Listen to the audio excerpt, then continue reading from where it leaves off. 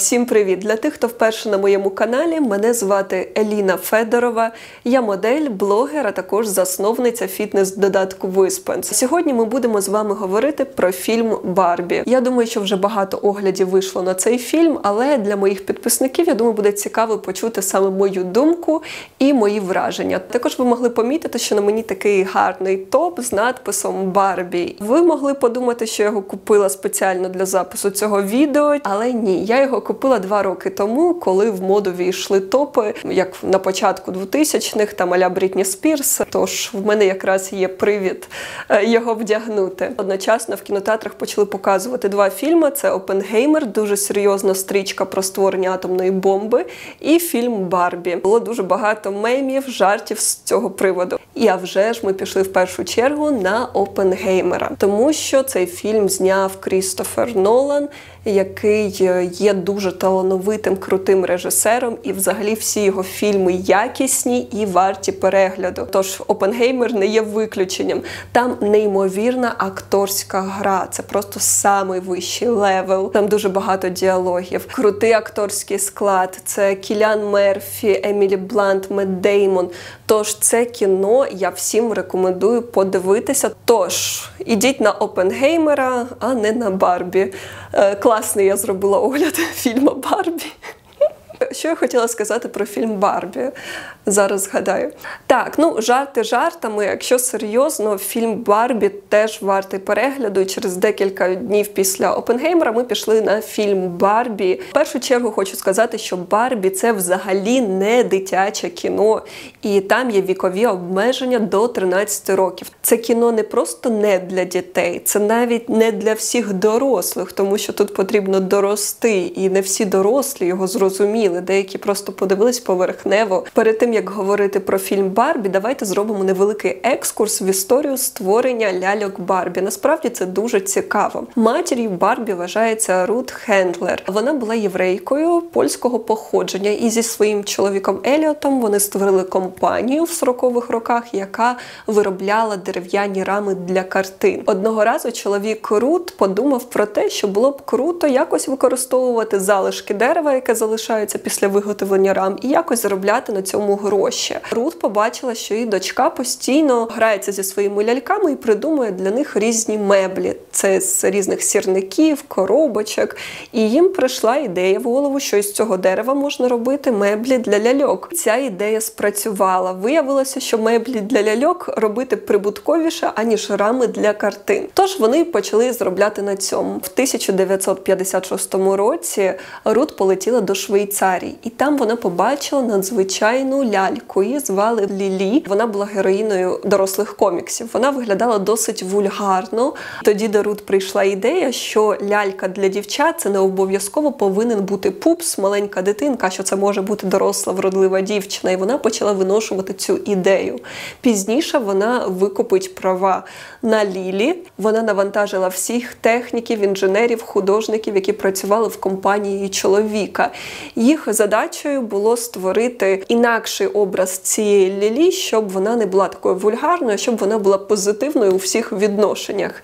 І їм вдалося створити цю ляльку, яку ми знаємо як Барбі. І назвала вона цю ляльку в честь своєї дочки Барбари. Створюючи Барбі, Рут проводила своє соціологічне дослідження. Вона запрошувала 100 мам з їх е, дочками різного віку і питала їх думку з приводу Барбі. Більшість мам були проти цієї ляльки, тому що вона здавалася їм занадто реалістичною, відвертою, і вони боялись за психіку своїх дітей. І одночасно з тим всі дівчата сказали, що вони хочуть собі таку ляльку. Тому Рут зрозуміла, що вона на правильному шляху, як то кажуть, вустами немовлят глаголить істина, і вона продовжувала працювати над розробкою ляльки. До речі, перший одяг для Барбі замовляли у Живанші та Діор. Це був дизайнерський одяг, а запатентували створили Барбі в 1958 році. Уявіть собі, вже в 50-х роках в Америці дівчата гралися Барбі в той час, як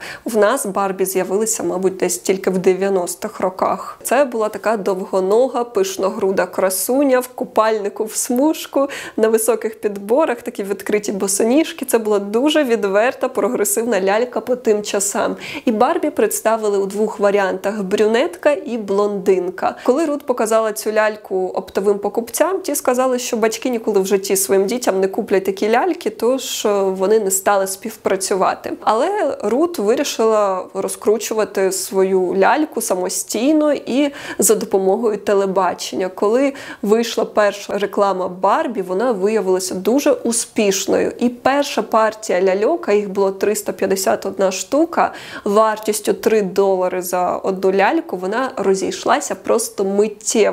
І з цього почалася імперія Барбі. За перші 10 років Барбі принесла подружжю Хендлер 500 мільйонів доларів. В 1993 році вони вже заробили 1 мільярд доларів, в 94-му вже 2 мільярди доларів. Зараз Барбі продають в 150 країнах світу, і середня вартість однієї ляльки від 25 до 70 доларів. Також за всю історію існування Барбі з нею було чимало скандалів. Так, наприклад, в 1963 році, коли вийшла нова Барбі, Барбі доглядальниця, з нею були різні аксесуари, в тому числі ваги і книжка з е, обкладинкою Як схуднути.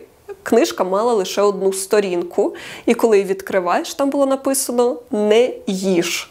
Просто уявіть собі, якби зараз хтось таке зробив, мені здається, вже б на наступний день цієї компанії взагалі б не існувало. Тоді так е, там були обурені люди, був якийсь скандал, але тим паче компанія продовжила робити і продовжила заробляти гроші.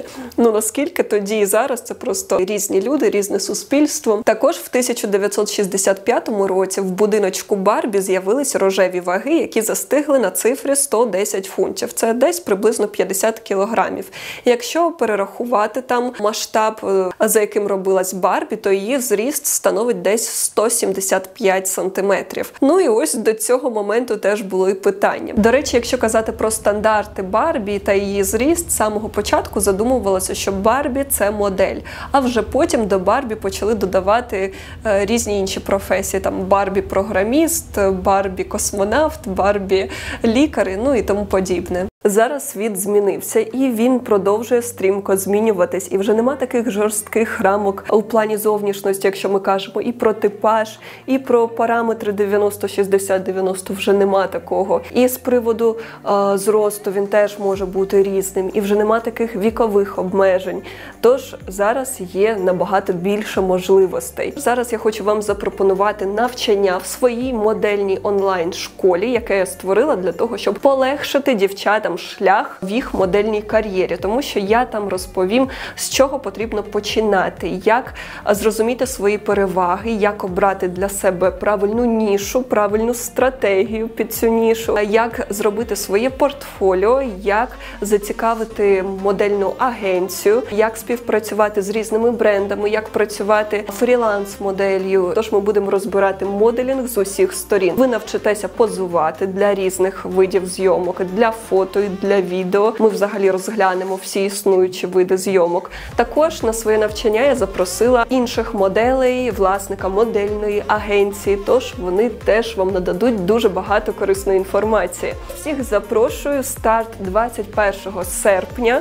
Е, переходьте за посиланням під цим відео і реєструйтесь. Всіх чекаю. Тож до Барбі взагалі було дуже багато питань. Занадто нереалістичні форми, занадто довгі ноги, занадто пишні груди, занадто нафарбована, занадто відвертий одяг. Якщо казати про дітей, то дівчата вони любили цю ляльку, і в них питань до цієї іграшки не було. Наприклад, я згадую своє дитинство. Мені подобалась ця лялька, от чесно. Я згадую, я просила там у батьків, щоб мені купили, коли там особливо виходили якісь е, нові версії цієї ляльки. Я пам'ятаю, що круто було мати е, Барбі, у якої гнуться коліна, руки, да, можна це згинати. І найбільше мені що подобалося в Барбі, це її постійно наряджати в різний одяг. Чим більше різного гарного одягу, тим краще. От мені подобався цей процес. До речі, напишіть в коментарях, які у вас були відносини з цією лялькою, чи любили ви її, чи, можливо, вона погано якось вплинула на вашу психіку, і купили б ви, наприклад, таку ляльку своїм дітям. Взагалі, за всі ці роки до Барбі було дуже багато претензій, але компанія змінила свою політику тільки в 2016 році. Вони розширили свою лінійку і зробили вже Барбі з різним типом е, зовнішності. Я маю на увазі різні тіла, більш реалістичні, більше відтінків шкіри, більше кольорів очей. Це ляльки з різними хворобами. Наприклад, Барбі з протезом, Барбі на інвалідному візку, Барбі з хворобою Вітіліго, Барбі, останнє про яку я чула з синдромом Дауна. Тож компанія почала підлаштовуватися під різні потреби різних людей, і таким чином вони здобули більше лояльності і а вже ж збільшили свої прибутки. Ну і я думаю, що не важко здогадатися, що після виходу цього фільму Барбі, а вже ж продажі цих ляльок вони виросли, і а вже ж збільшився, підігрівся інтерес людей до цієї компанії. Стрічка Грети Гервінг Барбі стала наймасштабнішим фільмом року в США та Канаді. Буквально за перший вікенд прокату в світі цей фільм зібрав 337 мільйонів доларів. Опенгеймер він вийшов в той самий день і він зібрав 172 мільйони доларів. Це теж успіх. Так, це менше ніж Барбі, тому що він ну не є таким поп попсовим комерційним, але це теж успіх для цього фільму, тому що вони ну і не розраховували на такі суми. Також я вважаю, варто поговорити про режисерку цього кіно Барбі, тому що насправді не так уж і багато жінок є, які є відомими режисерами, які досягли такого е, успіху е, у цій сфері. Грета Гервінг, якщо ви пам'ятаєте, вона також режисувала фільм Леді Птаха. І цей фільм був номінований на Золотий Глобус, а також на декілька номінацій е, на премію Оскар. А в 2018 році вона стала п'ятою жінкою у світі, е, яка була номінована на премію Оскар як режисер. До речі, бюджет, який їй виділили на фільм Барбі, це найбільший бюджет, з яким вона працювала. І взагалі вона дуже боялася починати цю роботу, тому що вона взагалі думала, що це може зруйнувати її кар'єру. Спочатку вона погодилася бути лише співсценаристом з іншим сценаристом та режисером Ноа Баумбаком. Це, до речі, її чоловік. Я не знаю, чи вони в офіційному шлюбі чи ні, але вони разом дуже багато років і в них є спільна дитина. Потім згодом її все-таки затвердили як режисера. Вона погодилася і взялася за цю роботу. Взагалі, я б на її місці теж боялася, тому що це дуже велика відповідальність. Тим паче, ви знаєте, як зараз працює у світі шоу-бізнесу. Хтось щось не так зробить, як прийме якесь непопулярне рішення, десь не так щось скаже, і все його кар'єра. Кар'єра закінчується в одну мить.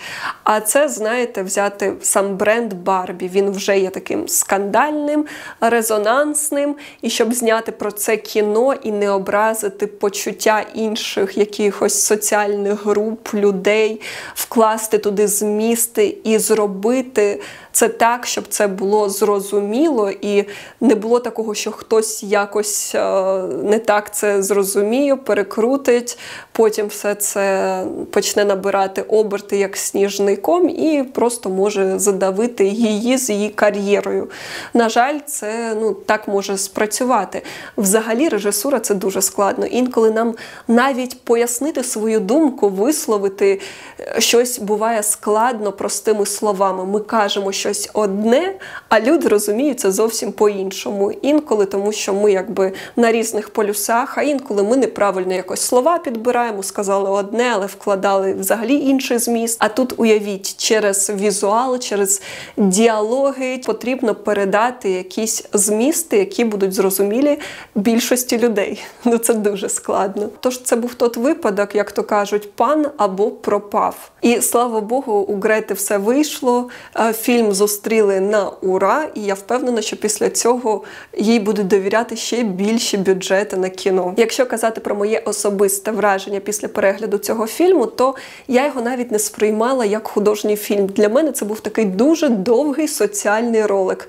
Так, гарний, з гарним продакшн дизайном, з гарними акторами, гарна картинка, але це соціальний ролик, тому що кожна сцена вона має свій підтекст, вона викликає певні асоціації ілюстрації, певні як метафори, породжує певні думки там з приводу да, соціальних проблем, з приводу е, фемінізму, гендерної нерівності, відносин в суспільстві. Тож цей фільм взагалі не можна сприймати буквально, якщо хтось прийшов, подивився цю- стрічку як звичайне кіно, де просто розповідається якась історія, і взагалі нічого не аналізував, то ну а вже ж цей фільм не сподобається, тому що це весь фільм, де ти читаєш як між, е, між рядків. Його можна тільки так дивитися. Із цікавих фактів про фільм Барбі. Та Барбі є відсилання до фільму Космічної Одіссеї 2001 року. Взагалі, перша сцена Барбі вона віддає данину поваги до цього відомого фільму.